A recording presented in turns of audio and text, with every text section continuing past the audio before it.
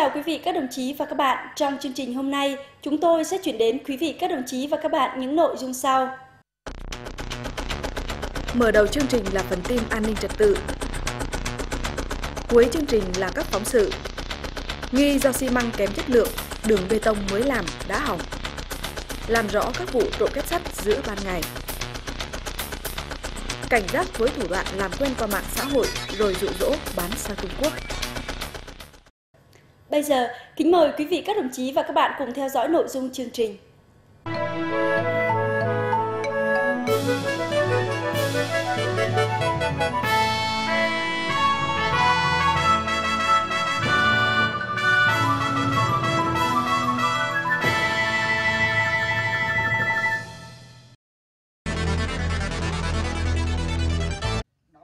Ban chỉ đạo Tây Nguyên vừa phối hợp với Công an tỉnh Đắk Lắk tổ chức lễ bàn giao nhà nghĩa tình đồng đội cho vợ con của một đồng chí, nguyên là công an xã Giang Cang, huyện Crong Bông, có hoàn cảnh gia đình rất khó khăn. Trong đợt này, Ban chỉ đạo Tây Nguyên và Công an tỉnh Đắk Lắk đã đến trao tặng căn nhà nghĩa tình đồng đội cho gia đình của đồng chí Ibrahim Hrdre ở Buôn Chư Pâm, xã Giang Cang, huyện Crong Bông, tỉnh Đắk Lắk. Đồng chí Ibrahim bị bệnh nặng qua đời vào năm 2016, để lại vợ và năm đứa con. Vợ đồng chí Ibrahim thường xuyên bị bệnh, đau ốm. Nhà thì thiếu đất sản xuất. Lâu nay, sáu mẹ con phải sống trong căn nhà ván tạm bợ, rột nát. Thấu hiểu và chia sẻ với những khó khăn đó. Thời gian qua, Ban chỉ đạo Tây Nguyên và Công an tỉnh Đắk Lắk cùng nhân dân, chính quyền xã Giang Cang đã đóng góp tiền để xây tặng vợ con của đồng chí Iberlanh Hờ Rê một căn nhà. Tấm lòng và món quà ý nghĩa này góp phần động viên vợ con của đồng chí Iberlanh Hờ Rê vượt qua khó khăn, ổn định làm ăn, phát triển kinh tế cùng bà con trong buôn. Cán bộ chiến sĩ khối thi đua số 4 của Công an tỉnh Đắk Lắk vừa về xã Hòa Phong, huyện Crong Bông, tỉnh Đắk Lắk tổ chức một số hoạt động giúp dân. Với tinh thần uống nước nhớ nguồn, cán bộ chiến sĩ khối thi đua số 4 gồm 10 đơn vị thuộc khối xây dựng lực lượng và hậu cần trực thuộc Công an tỉnh Đắk Lắk đã đến thăm tặng quà mẹ Việt Nam anh hùng Đặng Thị Lịch, 90 tuổi và mẹ Việt Nam anh hùng Phan Thị Giỏi, 85 tuổi, bày tỏ sự tri ân sâu sắc về những hy sinh cống hiến to lớn của các mẹ đối với Tổ quốc. Cũng trong đợt này, đoàn công tác cũng đã sơn sửa trang trí, tặng một số vật dụng cho nhà cộng đồng và đoàn thanh niên trong buôn Ngô A, xã Hòa Phong, đồng thời phối hợp cùng Công an huyện Crong Bông đến tận buôn làm giúp các loại giấy tờ tùy thân cho các hộ dân, cho những người tàn tật già yếu để khỏi mất công đi lại ra huyện liên hệ làm.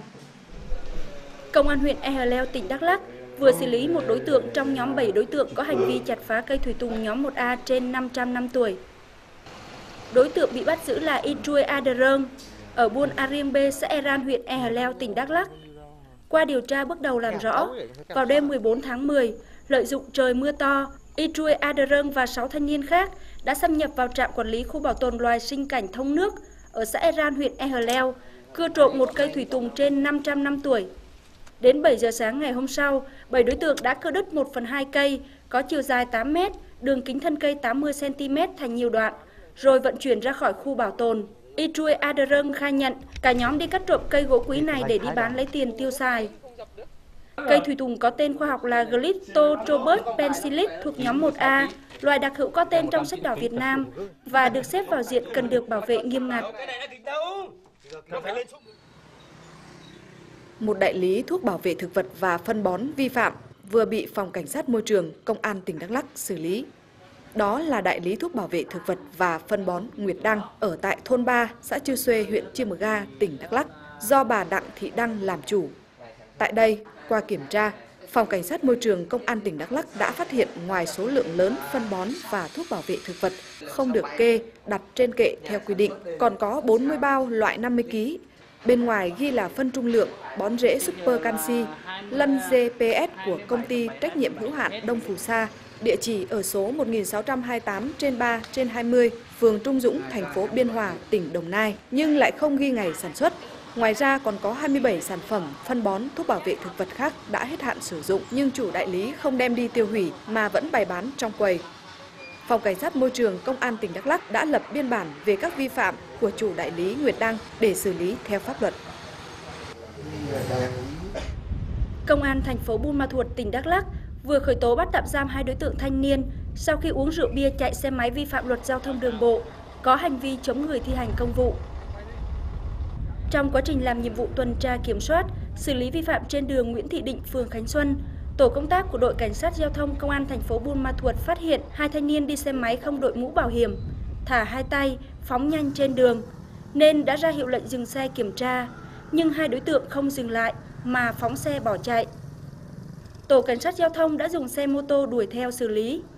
Khi hai thanh niên kia chạy vào một con hẻm nhỏ thì bị một người dân dùng xe ô tô chắn đường cả hai đối tượng. Có hai thanh niên treo ghẹo à, phụ nữ ở trên à, chợ Thành Nhất á. Ờ, công an đang chuẩn bị ờ, cũng đang định lên đó để xử lý nhưng mà hai đối tượng chạy xuống gần tới chốt công an thì thả hai tay hai chân ra rồi một anh công an chạy theo dưới đằng sau hai đối tượng đó là liền bay vào một một người kẹp cổ một người đấm liên tục vào anh công an vòng đầu với cả vào bụng Lúc đó, Trung úy Huỳnh Minh Thương, cán bộ đội cảnh sát giao thông công an thành phố Buôn Ma Thuột đến yêu cầu kiểm tra giấy tờ thì hai đối tượng bất ngờ tấn công làm đồng chí bị thương. Ngay sau đó, tổ cảnh sát giao thông và người dân đã phối hợp khống chế hai đối tượng. Thì hai nam thanh niên này không chấp hành mà chống đối quyết liệt lại để tẩu thoát, thì lúc này tôi cũng hết sức mình để ngăn chặn lại. Người ngồi sau thì ờ, bay xuống đột ngột là ôm vật đè xuống đất, thì người ngồi trước ờ, bay vào đấm túi bụi thì đồng chí Đinh Xuân Dũng mà được ờ, tổ trưởng cử đi theo sau tôi thì có mặt kịp thời ứng phó với tôi nên đã khống chế được hai đối tượng này và báo với cơ quan địa phương ờ, tại ờ, vụ việc xảy ra để đồng thời phối hợp giải quyết. Hai đối tượng này là Ibin Buôn Giá, trú ở xã Hòa Xuân, thành phố Buôn Ma Thuột và Ibrahim Nie ở xã E3 huyện Buôn Đôn, tỉnh Đắk Lắk. Tại cơ quan công an, lúc đầu hai đối tượng này vẫn quanh co chối tội và to tiếng thách thức, nhưng trước những chứng cứ cơ quan điều tra thu thập, hai đối tượng này đã khai nhận những hành vi phạm tội của mình. Hôm nay em uống rượu xong rồi đi xe là thả tay, xong rồi lạng lách, xong rồi gặp uh, mấy anh giao thông. Thối coi mà tụi em bỏ chạy, bỏ chạy xong rồi anh đuổi theo đuổi theo xong rồi bạn ấy pin vặt anh giao thông xuống xong rồi em à, đánh anh giao thông một phát. Sau đó tụi em bị uh, mấy người dân với anh giao thông bật lại tại vì tụi em uống rượu bia bây giờ thì em thấy uh, hành vi tụi em sai hoàn toàn rồi Hiện vụ việc đang được Công an thành phố Buôn Ma Thuột tiếp tục hoàn tất hồ sơ để xử lý hai đối tượng này theo quy định của pháp luật.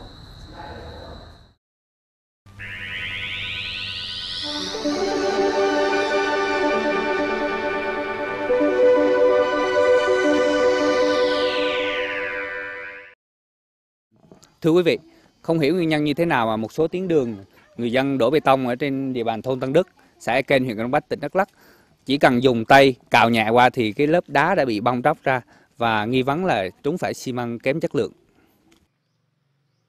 Từ tháng 3 năm 2017, người dân ở thôn Tân Đức, xã E Kênh, huyện Crong Bách, tỉnh Đắk Lắk đã chung nhau đóng góp tiền để làm đường bê tông nông thôn. Người dân đã mua khoảng 100 tấn xi măng Vinsem Hà Tiên bán tại cửa hàng mua bán vật liệu xây dựng Thuận Liên trên địa bàn xã E Kênh, huyện Crong Bách. Về đổ bê tông được 9 tuyến đường, bề mặt rộng từ 2 đến 3 mét và có tổng chiều dài 1.900 mét. Nhưng niềm vui được đi trên những con đường bê tông do chính người dân đóng góp tiền và công sức chưa được bao lâu, thì một số tuyến đường đã nhanh chóng bị hư hỏng, bong tróc, sỏi đá lên như thế này. Từ tháng 3 đến nay là bà con tự nhiên là à, bà con xe cổ đây cái mưa gió nó xuống dập hết trơn cái đá rồi lên hết rồi khí măng là có độ mỏng hay không là tôi chưa biết. Cho nên bà con chúng tôi đang bức xúc chuyện này. Vừa rồi ờ, kiểm tra lại là thấy là có gì bị bắt cái đá vẫn vẫn văng ra đó thì à, chúng tôi đang xác nhận là cái xi măng này là không đảm bảo được chất lượng theo cái tuyến đường bà con chúng tôi bỏ tiền ra mà thực hiện làm theo tuyến đường nông thôn xây dựng nông thôn mới. Xây dựng các cái tuyến đường này à, sau khi đưa vào à, sử dụng đó thì à, không biết lý do như thế nào là một số tuyến đường này chất lượng nó kém. Đi thì bây giờ xi măng nó tấp. Chúng tôi xây dựng chương trình kế hoạch và thành lập cái ờ, tổ anh em vào trong đó để kiểm tra, xem xét và thấy cái ờ, thực tế nó như thế ờ, thì dù gì về phía nhân dân hoặc cơ quan sản xuất, xi măng thì chúng tôi cũng sẽ kiểm tra, xem xét và đánh giá cho nó thật cụ thể cùng với nhân dân để khôi khắc phục lại các cái tuyến đường mà vừa rồi bà con đã làm bê tông mà chất lượng không tốt. Còn đây là ý kiến của chủ cửa hàng vật liệu xây dựng, nơi đã bán 100 tấn xi măng loại Vinsem Hà Tiên cho dân. Chị đổ nhiều xi măng lắm rồi mà không bị. Chị muốn làm rõ ràng là cho chị rõ ràng rõ để cho khỏi dân hỏi này, dân hỏi này, họ nói chị này nọ. Vì sao những đoạn đường bê tông do dân tự mua xi măng, vật liệu về làm lại nhanh chóng bị hư hỏng? 100 tấn xi măng có vấn đề gì về chất lượng? Đó là những câu hỏi khiến cho người dân ở thôn Tân Đức, xã E Canh, huyện Crong Bách, tỉnh Đắk Lắk đang băn khoăn và mong muốn các cơ quan, đơn vị chức năng có liên quan cùng nhà máy sản xuất loại xi măng này phối hợp làm rõ. Sau khi phóng viên truyền hình công an tại Đắk Lắk đến liên hệ tìm hiểu để phản ánh sự việc trên, thì đến nay chúng tôi nhận được sự phản hồi của công ty cổ phần xi măng Hà Tiên 1 cho biết vừa mới hỗ trợ 44,5 tấn xi măng cho người dân ở thôn Tân Đức để khắc phục những cái hư hỏng tại những đoạn đường trên. Thưa quý vị, Công an tỉnh Đắk Lắk vừa điều tra làm rõ một số vụ đột nhập nhà dân trộm cắp tài sản, đột phá cái sắt ngay giữa ban ngày, lấy cắp hơn 800 triệu đồng. Thời gian qua, trên địa bàn các huyện Crong Bông và Chư Quyên tỉnh Đắk Lắk đã xảy ra một số vụ kẻ gian đột nhập vào nhà dân giữa ban ngày trộm cắp tài sản. Trong đó, có những vụ trộm cắp tiền vàng trong kết sắt. Vợ chồng đi làm thì ờ, không ờ, ra đi thì làm ở cả ngày không về đâu, ở nhà. Có con bé nhà, con bé đi học thì à, về là chỗ thấy là uh, cái trộm là cày cửa vô là đục kết sắt rồi uh, lấy xe máy đồ đi, đi, đi. Nó kêu lang xóm đi thì con dâu con điện với cho mẹ là mẹ phải về. Hai cái đối tượng này là đúng quá là khinh pháp luật thật. Hắn ứng ăn trùm lúc nào thì hắn cứ vô mổ nhà lấy thôi chứ hắn không sợ chứ ai hết. Mà trong lúc sang xóm nhà đầy đủ đó cho con sợ ai gì đâu. Không sợ, con cháu nhé mà nhà đó người không xung quanh xóm đây ao ở nhà hết. Mà hắn lấy xe ra đi hiên ngang. Tiền bạc với uh, xe có tổng cộng của em thì đến trăm triệu.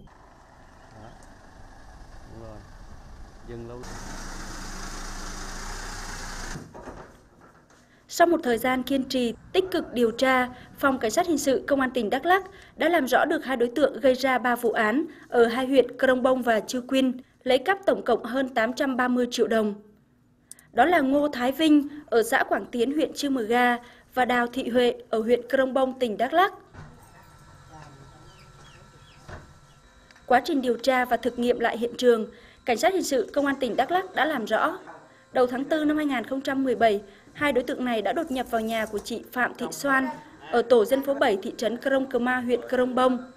Tại đây, Huệ đứng chờ ở ngoài, còn Vinh đột nhập vào nhà, dùng búa rìu đục phá kết sắt ngay giữa ban ngày và lấy nhiều tiền vàng tài sản, tổng trị giá hơn 700 triệu đồng đem về chia nhau tiêu xài. Cũng với thủ đoạn liều lĩnh như vậy, Ngô Thái Vinh và Đào Thị Huệ đã đến nhà của chị Nguyễn Thị Huệ ở thôn 1B, xã Chư E Vi, huyện Chư Quyên, đột nhập vào đục phá kết sắt ngay giữa ban ngày, lấy cắp tiền vàng tài sản trong kết sắt và một chiếc xe máy tổng trị giá khoảng 100 triệu đồng. Sau khi thấy Phòng Cảnh sát Hình sự Công an tỉnh Đắk Lắk bắt được và đưa hai đối tượng Ngô Thái Vinh, Đào Thị Huệ về thực nghiệm hiện trường điều tra làm rõ, người dân ở các thôn buôn rất vui mừng và yên tâm. Gia đình rất mừng, khẩn khởi vì bắt được hai tội phạm. Cho nên gia đình rất biết ơn, trong lòng em rất là vui sướng gì bắt bắt được tội phạm là khỏi phải là đi đi đi đi ăn trộm của người khác đó. Đối với dân ở đây là an tâm lắm rồi đó. Cảm ơn công an tỉnh Đắk Lắk là quan tâm đến dân.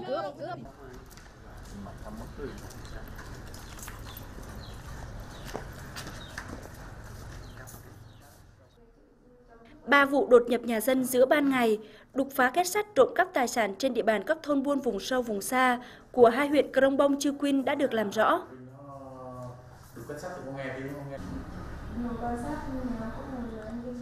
Tuy nhiên qua đây, các hộ dân cũng cần lưu tâm cảnh giác, không nên để quá nhiều vàng, tiền bạc ở trong nhà và chủ quan vì đã có kết sắt mà bỏ trống nhà cửa đi làm xa, không có ai trông coi, dễ bề cho kẻ gian đột nhập, đục phá, trộm cắp.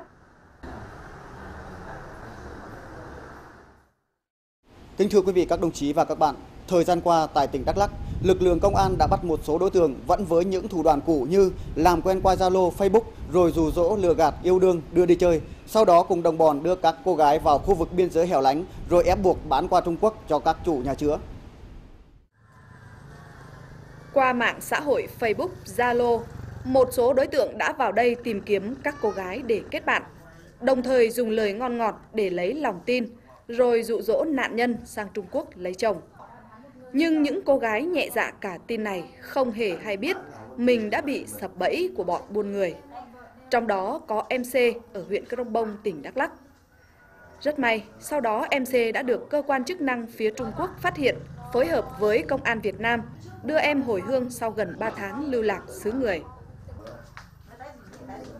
Khi mà nói chuyện trên face thì nó hứa là nó sẽ lái em. À, và lúc đầu thì em cũng không tin nhưng mà dần dần thì em lại tin nó hứa là nó sẽ lấy em làm vợ. Thì nó mới bảo thằng bạn nó đến đón em. Rồi khi mà đang gặp nhau thì em giống như là người mất hồn luôn.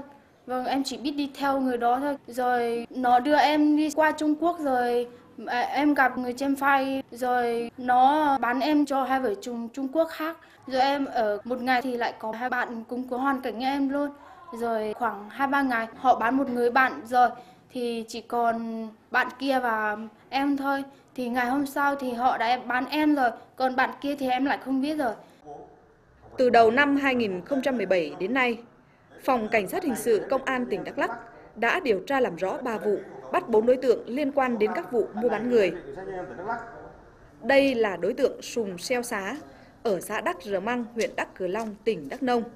Hắn khai nhận có một người tên là Phành ở bên Trung Quốc muốn tìm những cô gái trẻ để bán sang Trung Quốc làm vợ. Nếu đưa được một người sang thì Phành sẽ trả cho 10 đến 15 triệu đồng.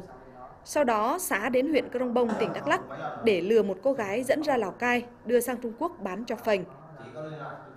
Với thủ đoạn hứa sẽ lấy về làm vợ, xã đã dụ dỗ được một cô gái ở xã Hòa Phong, huyện Crong Bông.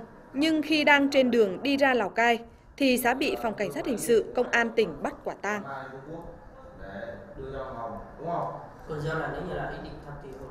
Hồi trước là em quen con Dương là em mình săn món chơi mà gặp nó ở ngoài đường. Xong là mình xin cái số điện thoại của nó về nhà mình gọi điện tắm chuyện với nó. Được khoảng gần 3 tuần gọi điện với nó lên chơi tỉnh Đắk Lắk. Mục đích là mình sẽ đưa nó bán đi Trung Quốc nhưng mà hành vi chưa thực hiện được đã bị công an tỉnh Đắk Lắk đã bắt giữ một đứa bán cho nó nó có thể cho mình đến 10 triệu đến 15 triệu trước đây mình đã đưa một đứa ở trong xã đắp Mang đi bán nhưng mà mình mới đưa đi đến bên dưới là nó phát hiện xong là nó bảo nó không đồng ý đi xong nó bỏ chạy vào đồn biên phòng xong là đồn biên phòng đã giải thoát cho nó xong là nó bây giờ nó đã hiện tại nó đang về nhà còn đây là đối tượng Nguyễn Ngọc Thúy ở xã Phú Lộc, huyện Tân Phú, tỉnh Đồng Nai. Trước đó, Thúy quen một người đàn ông tên Tân. Sau đó, Tân rủ Thúy sang Trung Quốc chơi. Qua tới Trung Quốc, Tân bảo Thúy dẫn ba cô gái Việt Nam bán cho các bà mối để đàn ông Trung Quốc lựa chọn mua về làm vợ. Mỗi cô gái Thúy bán với giá 2,5 vạn nhân dân tệ, khoảng 80 triệu đồng tiền Việt Nam. Năm 2015 em có qua Trung Quốc xuất khẩu lao động và có quen An Tân làm ở bên Trung Quốc. Năm 2016 em có về Việt Nam và năm 2017 do có quan hệ tình cảm với anh Tân nên là gọi điện đi qua Trung Quốc chơi. Khi đi đến cửa khẩu thì có gặp ba người phụ nữ ở Đắk Lắk đi cùng với anh Tân. Khi sang Trung Quốc thì tôi mới biết là anh Tân dắt ba người phụ nữ đó bán sang Trung Quốc thì tôi có giúp anh Tân đưa ba người phụ nữ đến nhà bà mối và trong ba người đó tôi có nhận tiền của một người là hai vạn rưỡi quy ra tiền Việt là 80 triệu tiền Việt Nam. Các đối tượng đã lợi dụng qua các mạng xã hội à, Zalo, uh, Facebook, WeChat đã làm quen với các cô gái và đồng bào dân tộc thiểu số, chủ yếu ở đây là người Mông, hứa hẹn các cô gái là sẽ lấy làm chồng. Sau đó các đối tượng sẽ dụ dỗ các cô gái là qua địa phận Lào Cai và dắt qua Trung Quốc, vượt biên trái phép qua Trung Quốc và bán cho các đối tượng người Mông à, bên Trung Quốc à, lấy chồng bất hợp pháp. Ngoài trường hợp của MC là may mắn được phát hiện đưa trở về đoàn tụ với gia đình, thì hiện vẫn còn nhiều cô gái trẻ không biết đang sống như thế nào bên xứ người. Qua những vụ việc như vừa nêu, các gia đình có con, em gái, các trường học ở vùng sâu, vùng xa cần lưu tâm trong việc tuyên truyền giáo dục và quản lý bảo vệ các nữ sinh của mình. Chương trình An ninh trật tự hôm nay đến đây tạm dừng. Quý vị, các đồng chí và các bạn muốn xem lại chương trình, hãy truy cập địa chỉ www.công an.đắk.gov.vn. Cảm ơn sự quan tâm theo dõi của quý vị, các đồng chí và các bạn. Hẹn gặp lại trong chương trình này vào 8 giờ 15 phút tối chủ nhật tuần sau. Thân ái, chào tạm biệt.